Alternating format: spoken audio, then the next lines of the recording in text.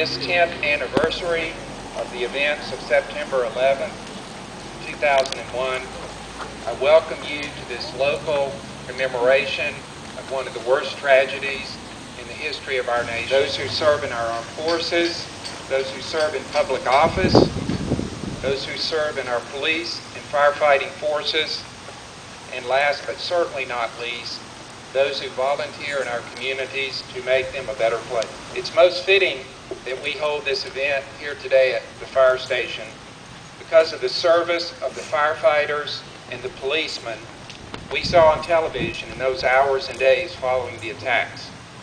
Those were the individuals that put their lives on the line to rescue and to help those who were trapped in the rubble of the Twin Towers and the Pentagon. In the spirit of healing, we have turned the day not just into a day of remembrance, but also into a day of service. Governor Barbour has declared September 11, 2011 as a day of service and remembrance, and has encouraged Mississippians to join in the activities of remembrance and charitable service.